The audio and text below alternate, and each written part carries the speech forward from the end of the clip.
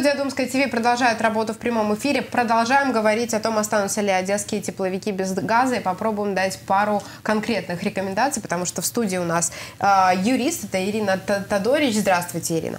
Приветствую вас. Ну, э, знаете, э, если такой очень простой вопрос, понятный э, каждому украинцу, одесситу, за долги могут забрать квартиру? Вот в юридическом поле по букве закона это возможно? Арестовать и э, потом выставить на аукцион и продать. Это очень э, длительный процесс, но гипотетически при э, тех условиях, соблюдении тех условий, которые предусмотрены в законе, конечно, можно. Политические заявления могут повлиять как-то на закон, потому что мы неоднократно слышали, как Владимир Гройсман, премьер-министр Украины, угу. говорят, говорил о том, что это невозможно и все могут спать спокойно. Ну, э, не знаю, насколько политические заявления могут сейчас в нашей ситуации повлиять на законодательство. Я могу только говорить о законодательстве. Э, четко у нас предусмотрено в законодательстве, что э, каждый должен выполнять, каждый непосредственно потребитель тех или иных коммунальных услуг, согласно закону о жилищно-коммунальных услугах, должен платить за свои услуги, те, которые он потребляет. Каким уже образом, допустим, согласен, не согласен, у него есть разные права. Он имеет право, если он с чем-то не согласен, писать определенные акты претензий, направлять, он должен возражать, собирать доказательства. А на него имеют право обратиться в суд. Угу. Те же самые, либо это ОСМД, если в этом доме есть ОСМД, если в доме нет ОСМД, это, э, скорее всего, организация, которая осуществляет э, какие-то функции, вот сейчас вместо ЖЭКов возложены на нее для того, чтобы управлять этим имуществом. То есть это не страшилки, вполне нет, такая реальная картина? это должно быть э, решение суда, это называется судовый наказ. После После того, как был судебный приказ, после этого он отправляется на исполнение. И каждый из нас имеет право, собственно говоря, обжаловать этот судебный приказ. Э, можно его пересмотреть, можно идти и судиться э, по этому поводу, собственно говоря. Если же нет, то тогда этот судебный приказ идет в исполнительную службу, и там есть определенные э, требования для того, чтобы имущество, которое, если нет другого никакого имущества вообще, если все уже продано, и долг более на сегодняшний день в законодательстве об исполнительном производстве, это 20 размеров минимальных заработных плат. Мы все с вами знаем, что с 1 января до января 2017 года минимальный размер заработной платы 3 200. То, То есть, 20, э, умножив, это получается умножить 64 тысячи. 64 тысячи. То есть, если долг превышает 64 тысячи, то тогда долг могут э, взыскать и в счет погашения, собственно говоря, за счет имущества. То есть, э, если условно повод для манипуляций, э, долг в одну гривну нельзя назвать долгом, но это же все-таки долг, но его на почве такой суммы невозможно ничего сделать. Нет, вы знаете, одна гривна это тоже долг. Это же долг. Если как... необходимо, можно за одну гривну обратиться в суд, но, конечно, это нецелесообразно, потому что есть издержки различные, конечно, никто с такой суммой обращаться в суд не будет. Вот. Я думаю, что каждая уже ОСМД будет определять для себя. У них в уставных документах сейчас уже по действующему законодательству, в уставе каждого ОСМД, который создается, у них есть определенная обязанность ОСМД и председателя, собственно говоря, ОСМД, который будет нести ответственность, а, обращать э, взыскание, то есть взыскивать с должников суммы, потому что на самом деле это же деньги всех э, собственников многоквартирных домов.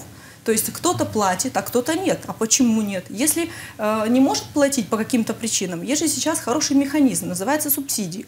Э, Где-то со середины 2015 года процесс получения субсидий уже упрощен. То есть, в принципе, можно, э, заполнив два документа на сайте, не выходя даже из дома, если есть интернет, можно обратиться и подать такую заявку. Либо это в местный орган власти, либо это, допустим, Э, если это в области люди находятся, то в областной орган власти. И можно оформить субсидию. С вами, как с юристом, люди советовались, безопасно ли брать субсидии? Вы же знаете наверняка, что вот в народе ходит мнение, что ну, не очень это безопасно. Возможно, потом сложно продать Вы знаете, квартиру, обращались, или... обращались. Я могу сказать, что мне кажется, что многие люди либо не обращаются из-за правового нигилизма, из-за того, что они не знают этого, им правильно обратиться к адвокату или к юристу для того, чтобы он разъяснил нормы. Во-первых, это действительно проще. Не нужно собираться, собирать такую гору справок, как это было раньше. Не нужно выстаивать там большие очереди. Вот. Дадут субсидию? Хорошо. Не дадут? Ну, так значит, нужно каким-то другим способом уже решать свой вопрос. По поводу того, что могут э, потом арестовать квартиру или взыскать квартиру. Ну, так э, я хочу сказать и вот как бы призвать всех э, граждан к тому, что, ну, тогда нужно, наверное, не лукавить, и не вводить государство в заблуждение. И если тебе действительно необходима субсидия, и ты подходишь под те критерии, которые указаны в законодательстве, то ее можешь получить. А кто сильно хочет обхитрить государство, то может в результате обхитрить и себя. Такие случаи тоже могут быть. Человек, продавая квартиру после того, как воспользовался субсидией, будет компенсировать э, те деньги, которые за него вносило государство? Вы понимаете, там есть э, разные случаи. Так просто говорить нельзя, вот так mm -hmm. на вскидку, когда он продает квартиру. Есть случаи, когда э, подходит к этому выборочно, в том числе, допустим, э, в чем смысл субсидии? Субсидия за последние 12 э, календарных месяцев, по-моему, не должно быть сделок, превышающих 50 тысяч гривен. То есть, если человек либо покупает, либо продает, то тогда государство это контролирует. Но можно же объяснить, допустим, если была там двухкомнатная квартира, а в связи с тем, что семья была из четырех человек, допустим, какой-то из э, детей женился или вышел замуж, и необходимо улучшить квартирные условия, так они еще доплатили и купили, допустим, квартиру. То есть это очень индивидуальный момент, поэтому мне кажется, это больше инсинуации на этот счет. Какие есть механизмы в законном поле оспорить вот ту платежку, которую люди получают? Вот они видят, там у них свои цифры, угу. свои счета, как это можно сделать? Да, ну давайте разберемся. Во-первых, у нас несколько, да, допустим, сейчас. Самое большое, конечно, это газ, отопление. Да?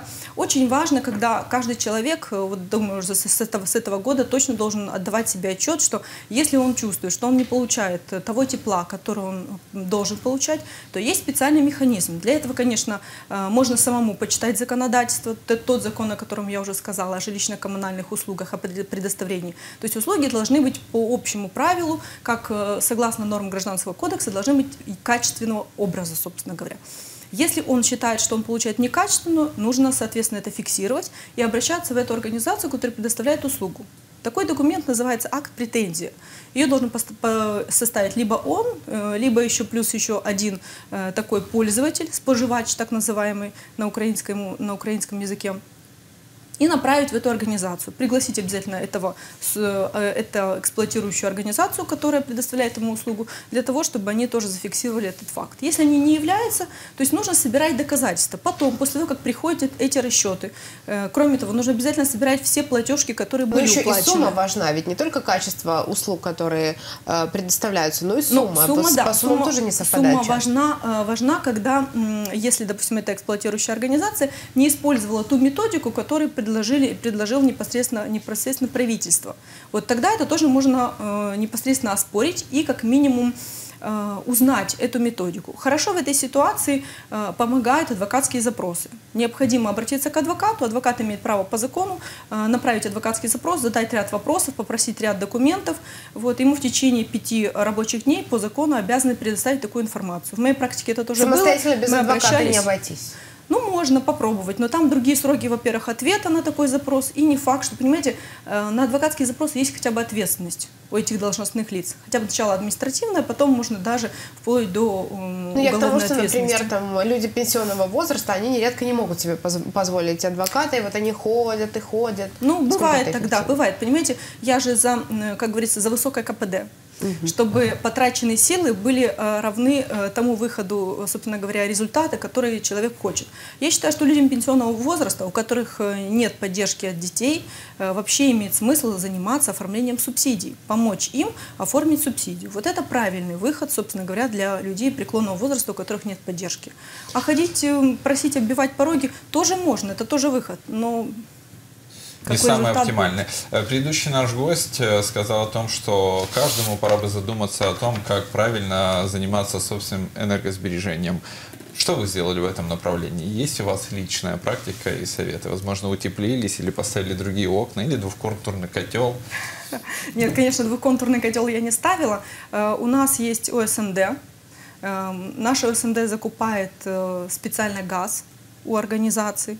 Вот. Для ОСМД, насколько я даже тоже вникала в этот процесс, этот газ стоит чуть-чуть дешевле, чем для любых других организаций, просто юридических лиц, у них скидка.